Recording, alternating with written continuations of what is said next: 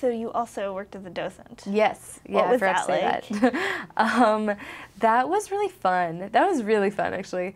Um, I so the basic duties are it's kind of like being a receptionist, I guess, where you just greet people warmly and tell them the basics of the center, like number of books, where they can walk around, stuff like that, um, what the exhibits are, ask them where they're from, if they're a member, etc.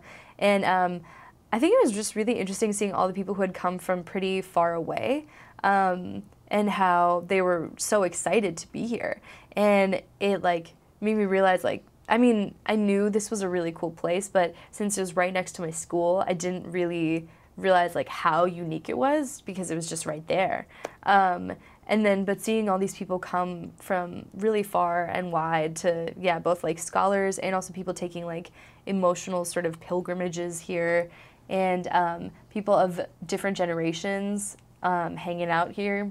And um, people also just seem to have a really strong emotional connection. Like people, I don't think anybody ever walked in the door like blasé about coming to the Yiddish Book Center. Like, oh, I guess I'll go to the Yiddish Book Center today. Like people, people were definitely like charged up about coming here, um, which was really fun and really like exciting energy. So, yeah.